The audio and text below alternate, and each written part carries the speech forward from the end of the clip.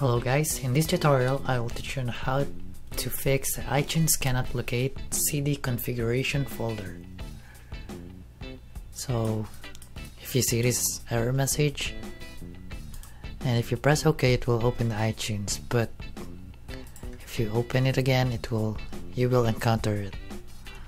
So to do to fix that go to your um, local disk C program files and you will see an iTunes folder here. And you see the CD configuration. Just cut cut it.